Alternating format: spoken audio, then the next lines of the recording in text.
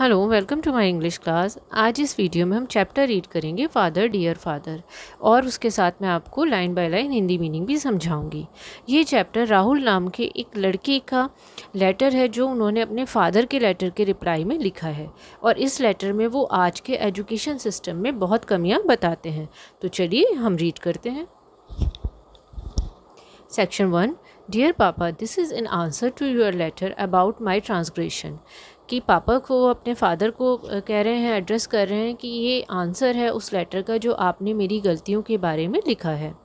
Yes my first rank slip to the second हाँ मेरी पहली रैंक गिर के सेकेंड पर आ गई। You advise that I should think before answering the papers आपने मुझे सलाह दी कि मुझे सोचना चाहिए पेपर को आंसर करने से पहले।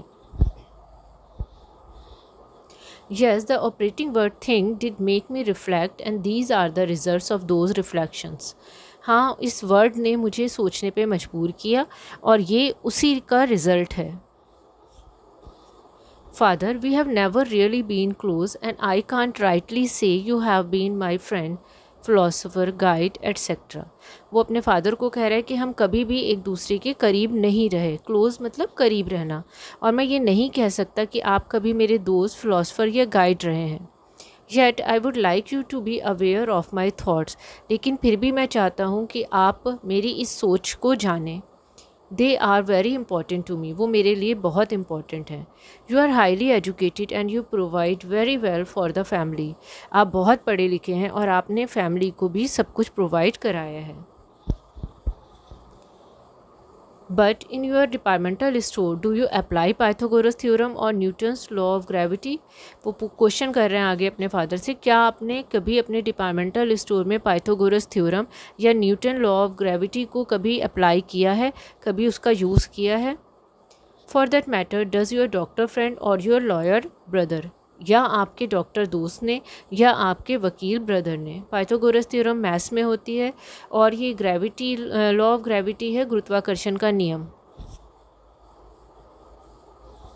आगे वो कहते हैं, papa my grandfather speaks of a carefree and beautiful childhood कि मेरे दादा बात करते हैं अपने केयर फ्री और ख़ूबसूरत चाइल्डहुड की।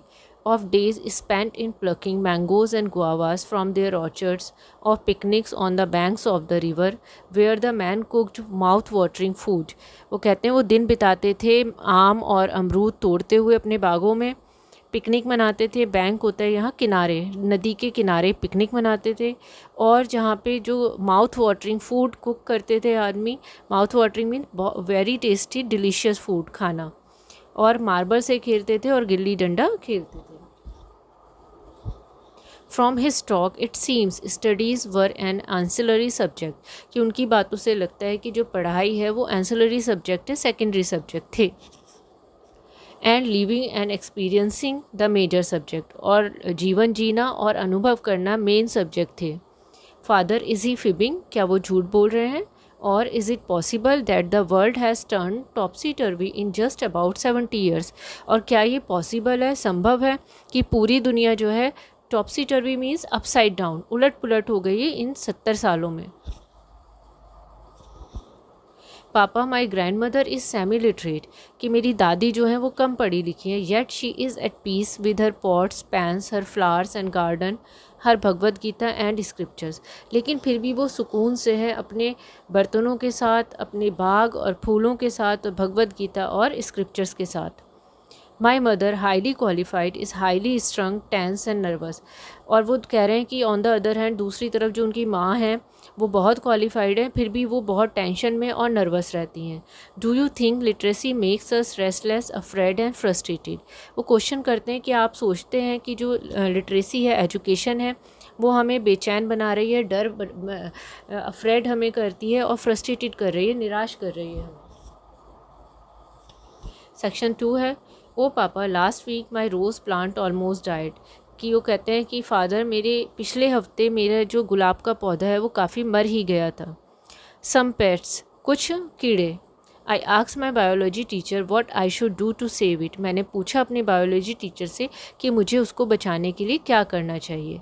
एंड शी वॉज़ क्रॉस और वो गुस्सा हो गई यहाँ पे शी वॉज़ क्रॉस का मतलब है she got angry she said go आक्स the guy who keeps gardening things उन्होंने कहा कि, जाओ, पूछो उससे, आदमी से, जो ये गार्डनिंग चीज़ें करता है। ही विल टेल यू वो तुम्हें बताएगा। We learn about pesticides but we don't know how to use them हम सीखते हैं पेस्टिसाइड्स मतलब होते कीटनाशक, पर उनके बारे में, लेकिन हम नहीं जानते उनको यूज़ कैसे करना है।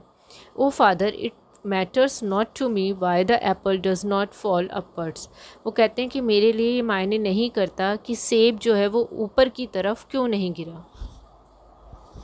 Not do I care what Archimedes did मुझे इस बात की भी परवाह नहीं कि आर्कमिडीज़ ने क्या किया था। What matters to me is that my rose plants remain healthy मेरे लिए मैटर करता है, मायने रखता है कि मेरे गुलाब के पौधे हेल्दी रहें। When there is a fuse in my house I should know how to do something about it कि अगर कोई फ्यूज़ हो जाए मेरे घर में तो मुझे पता होना चाहिए कि क्या करना है। I should know how to make a desk for myself from my carpenter's tools मुझे पता होना चाहिए कि मैं अपने लिए कैसे कारपेंटर के टूल यूज़ करके डेस्क बना सकता हूँ। कारपेंटर लकड़ी का काम करने वाले और टूल्स औज़ार कि उन औज़ारों का यूज़ करके। Instead I learn about hypotenuse relational square roots और उसकी बजाय मैं हाइपोटेनस और रिलेशनल स्क्वायर रूट्स को सीखता हूँ।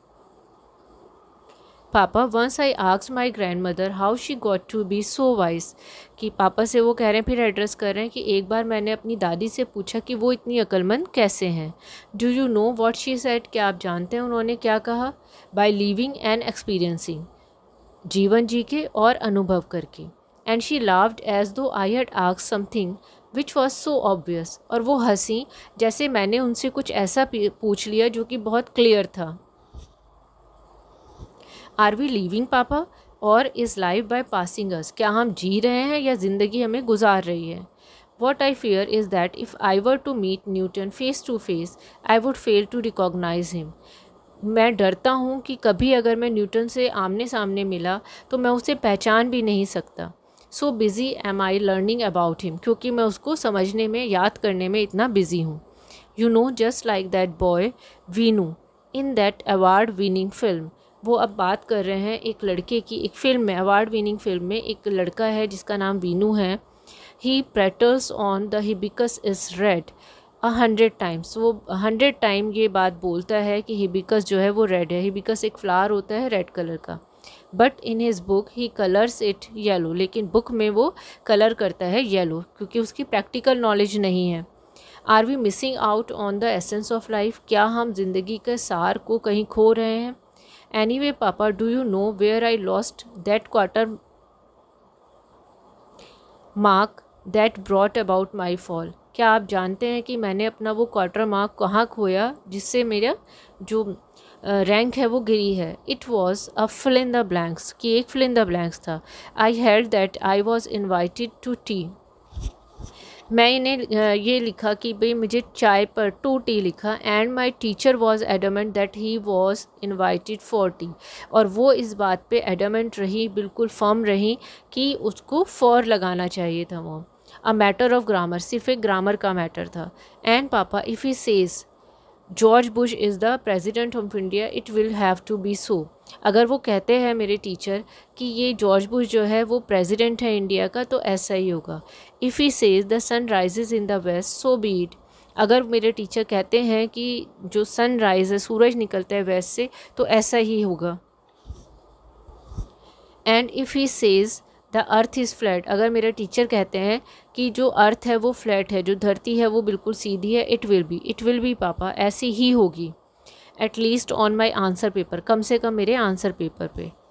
My first rank is at stake you see still my dearest papa I shall keep your advice in mind and try not to lose any quarter marks वो कहते हैं कि फिर भी मैं आपको, आपकी इस सलाह को अपने माइंड में रखूँगा, ध्यान रखूँगा उसको और कोशिश करूँगा कि आप कोई क्वार्टर मार्क मुझसे ना खोए। अगर ये आपको चैप्टर समझ आ रहा हो तो मेरे चैनल को सब्सक्राइब ज़रूर करिए और वीडियो को लाइक भी ज़रूर करिएगा। बाकी वो नीचे फिर बता रहे हैं as always yours ever obedient son Rahul obedient कहना मानने वाला बेटा राहुल लास्ट पीएस ये पीएस की फुल फॉर्म होती है पोस्ट स्क्रिप्ट जब भी हम कोई भी लेटर लिखते हैं और अगर हमारा कोई ऐसा पॉइंट जो हम लेटर में ऊपर नहीं लिख पाए, वो भूल गए तो उसको लिखने के लिए हम नीचे पीएस लिखते हैं पोस्ट स्क्रिप्ट और अपनी बात को लिख देते हैं. तो ऐसे ही राहुल ने भी लिखा है PS your eyes will not see this anguished plea कि आपकी आँखें नहीं देखेंगी मेरी इस दर्द से भरी हुई दलील को. My father this was only to lighten my overburdened heart ये सिर्फ़ मेरा जो बहुत बोझ है मेरे दिल पे, उसको हल्का करने के लिए। It is not all arteries and muscles कि ये सिर्फ़ मांसपेशियाँ और आर्टरीज़ नहीं है, इसमें इट फील्स टू ये फील भी करता है, किसकी बात कर रहे हैं? इट हार्ट की। A newspaper article from the Hindu ये हिंदू न्यूज़पेपर से एक आर्टिकल लिया गया है। आई होप आपको ये चैप्टर बहुत अच्छे से क्लियर हो गया।